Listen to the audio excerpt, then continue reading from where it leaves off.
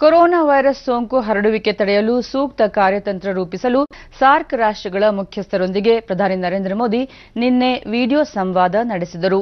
Video ಸಂವಾದದಲ್ಲಿ ಅಫ್ಘಾನಿಸ್ತಾನ ಅಧ್ಯಕ್ಷ ಅಶ್ರಫ್ ಘನಿ, ಮಾಲ್ಡೀವ್ಸ್ ಅಧ್ಯಕ್ಷ ಇಬ್ರಾಹಿಂ ಮೊಹಮ್ಮದ್ ಸೋಲೆ ಶ್ರೀಲಂಕಾ ಅಧ್ಯಕ್ಷ ಗೋಟಬಾಯ್ ರಾಜಪಕ್ಸೆ, ಬಾಂಗ್ಲಾದೇಶ ಪ್ರಧಾನಿ ಶೇಖ್ ಹಸೀನಾ, ನೇಪಾಳ ಪ್ರಧಾನಿ ಕೆಪಿ ಓಲಿ, ಭೂತಾನ್ ಪ್ರಧಾನಿ ಡಾ ಲೋಟೆ ಶೆರಿಂಗ್, ಪಾಕಿಸ್ತಾನ ಆರೋಗ್ಯ ಸಚಿವ ಡಾ ಸಫರ್ ಮಿರ್ಜಾ ಸಂವಾದದಲ್ಲಿ ಪಾಲ್ಗೊಂಡರು. ಪ್ರಾಸ್ತಾವಿಕವಾಗಿ ಮಾತನಾಡಿದ ನರೇಂದ್ರ ಮೋದಿ ಕೊರೋನಾ ವೈರಸ್ ಸೋಂಕನ್ನು ವಿಶ್ವ ಆರೋಗ್ಯ ಸಂಸ್ಥೆ ಜಾಗತಿಕ ರೋಗವೆಂದು ಈಗಾಗಲೇ ಘೋಷಿಸಿದೆ. ವಿಶ್ವ ಜನಸಂಖ್ಯೆಯಲ್ಲಿ ಗಣನೀಯ ಭಾಗ ಹೊಂದಿರುವ ಸಾರ್ಕ್ ರಾಷ್ಟ್ರಗಳಲ್ಲಿ ಸುಮಾರು ನೂರ ಐವತ್ತು ಪ್ರಕರಣಗಳು ಪತ್ತೆಯಾಗಿದ್ದರೂ ಸಹ ತುಂಬಾ ಜಾಗೃತ ವಹಿಸಬೇಕಾಗಿದೆ. ಸಾರ್ಕ್ ರಾಷ್ಟ್ರಗಳು ಅಭಿವೃದ್ಧಿಶೀಲ ರಾಷ್ಟ್ರಗಳೇ ಆಗಿವೆ. ಪ್ರಾಚೀನ ಕಾಲದಿಂದಲೂ ಈ ದೇಶಗಳ ಜನರ ನಡುವಿನ ಸಂಪರ್ಕ ಅಧಿಕವಾಗಿದ್ದು, ಸಮಾಜಗಳು ಆಳವಾಗಿ ಬೆಸೆದುಕೊಂಡಿವೆ. ಈ ಹಿನ್ನೆಲೆಯಲ್ಲಿ ಒಕ್ಕೂಟದ ಎಲ್ಲಾ ದೇಶಗಳು ಸೋಂಕು ತಡೆಗೆ ಸಿದ್ಧರಾಗಬೇಕಿದೆ. ಸೋಂಕಿನ ಬಗ್ಗೆ ನಿರ್ಲಕ್ಷ್ಯ ಖಂಡಿತ ಸಲ್ಲದು ಎಂದರು. ಭಾರತದಲ್ಲಿ ಸೋಂಕು ತಡೆಗೆ ಕ್ರಿಯಾಪರ ಕ್ರಮಗಳನ್ನು ತೆಗೆದುಕೊಳ್ಳಲಾಗಿದೆ. ವಿಮಾನ ನಿಲ್ದಾಣಗಳಲ್ಲಿ ಪ್ರಯಾಣಿಕರನ್ನು ತಪಾಸಣೆಗೆ ಒಳಪಡಿಸಿ ಪ್ರಯಾಣಗಳ ಮೇಲೆ ನಿರ್ಬಂಧಗಳನ್ನು ಹೇರಲಾಗುತ್ತಿದೆ. ಬಹು ಹಂತದ ಕ್ರಮಗಳನ್ನು ಸರ್ಕಾರ ಅನುಸರಿಸುತ್ತಿದೆ. ಮಾಧ್ಯಮಗಳಲ್ಲೂ ಕೊನೆಯ ವ್ಯಕ್ತಿಯವರೆಗೆ ಮಾಹಿತಿ ತಲುಪಿಸಿ ಜಾಗೃತಿ ಮೂಡಿಸಲಾಗುತ್ತಿದೆ. ವೈದ್ಯಕೀಯ ಸಿಬ್ಬಂದಿಗೆ ತರಬೇತಿ, ರೋಗ ಪತ್ತೆ ಪ್ರಯೋಗಾಲಯಗಳ ಸ್ಥಾಪನೆ, ಶುಚಿತ್ವ ಯೋಜನೆಗಳನ್ನು ಕೈಗೆತ್ತಿಕೊಳ್ಳಲಾಗಿದೆ. ವಿದೇಶಗಳಲ್ಲಿನ ಒಂದು ಸಾವಿರ ನಾನ್ನೂರು ಭಾರತೀಯರನ್ನು ಸುರಕ್ಷಿತವಾಗಿ ವಾಪಸ್ ಕರೆತರಲಾಗಿದೆ. ಸರ್ಕಾರದ ಕ್ರಮಗಳ ಬಗ್ಗೆ ಭಾರತದಲ್ಲಿನ ರಾಯಭಾರಿ ಕಚೇರಿಗಳಿಗೆ ತಿಳಿಸಲಾಗಿದೆ. ಸೋಂಕಿನ ಪರಿಸ್ಥಿತಿಯ ಬಗ್ಗೆ ಸ್ಪಷ್ಟವಾಗಿ ನಿರ್ಧರಿಸಲು ಸಾಧ್ಯವಾಗಿರುವುದರಿಂದ ಎಲ್ಲ ಸದಸ್ಯ ದೇಶಗಳು ಸಂಘಟಿತ ಹೋರಾಟಕ್ಕೆ ಕೈಜೋಡಿಸಬೇಕಾಗಿದೆ ಎಂದರು.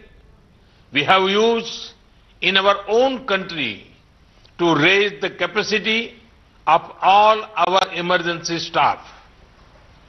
We had set up an integrated disease surveillance portal to better trace possible virus carriers and the people they contacted. We could share this disease surveillance softwares with SARC partners and training on using this. Let us also use existing facilities like the SARC Disaster Management Center to pull in the best practices among all of us. Looking ahead, we could create a common research platform to coordinate research on controlling epidemic disease within our South Asian region. The Indian Council of Medical Research can offer help coordinating, such an exercise. We can also ask our experts to brainstorm on SAARC ರಾಷ್ಟ್ರಗಳ ಮುಖ್ಯಸ್ಥರು ಸೋಂಕು. ಪರಿಸ್ಥಿತಿ ತಮ್ಮ ದೇಶಗಳ ಮೇಲೆ ಬೀರುತ್ತಿರುವ ಪರಿಣಾಮಗಳನ್ನು ವಿವರಿಸಿದರು. ಆರ್ಥಿಕತೆ ಪ್ರವಾಸೋದ್ಯಮ ಸಾರಿಗೆ ಮುಂತಾದ ವಲಯಗಳ ಮೇಲೆ ಸೋಂಕು ಪ್ರತಿಕೂಲ ಪರಿಣಾಮ ಬೀರುತ್ತಿರುವುದರ ಕುರಿತು ನಾಯಕರು ವಿವರಿಸಿದರು. ಅಲ್ಲದೆ ಭಾರತ ಪ್ರಸ್ತಾಪಿಸುವ ಕ್ರಮಗಳಿಗೆ ಸಹಕರಿಸುವುದಾಗಿ ತಿಳಿಸಿದರು.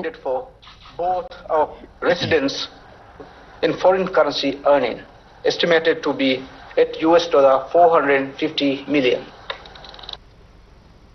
Good evening, Excellencies. Our biggest challenge is to stop or minimize the virus entering into Sri Lanka. for taking this initiative. I also thanks for bringing and hosting 23 of our students from Wuhan along with Indian students during the quarantine period. Preventing this disease to enter into our country. Our national efforts, I am personally As we speak, my king is out of the capital. He is in the district places, ensuring healthcare services, ensuring COVID-19 surveillance system.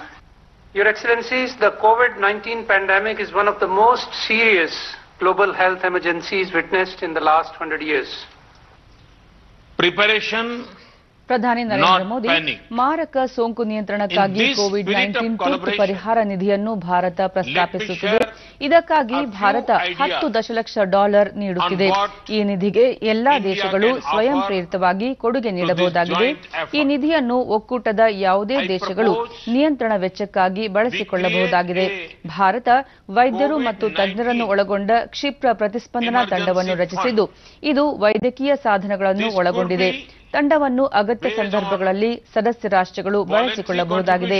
Virus ಸೋಂಕಿತರನ್ನು ಪತ್ತೆ ಮಾಡಲು ಮತ್ತು ಅವರು ಸಂಪರ್ಕಿಸಿರುವ ಜನರ ಬಗ್ಗೆ ತಿಳಿಯಲು ಸಮಗ್ರ ರೋಗ ಕಣ್ಗಾವಲು ಪೋರ್ಟಲ್ ಅನ್ನು ಸ್ಥಾಪಿಸಲಾಗಿದೆ.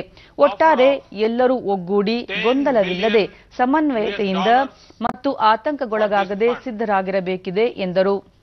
Any of us can use the fund to meet the cost of immediate actions. Our foreign secretaries, through our embassies, can coordinate quickly to finalize the utilization of this fund. We are assembling a rapid response team of doctors and specialists in India, along with testing kits and other equipment. They will be on standby to be placed at your disposal if required. We can also quickly arrange online training capsules for your emergency response teams.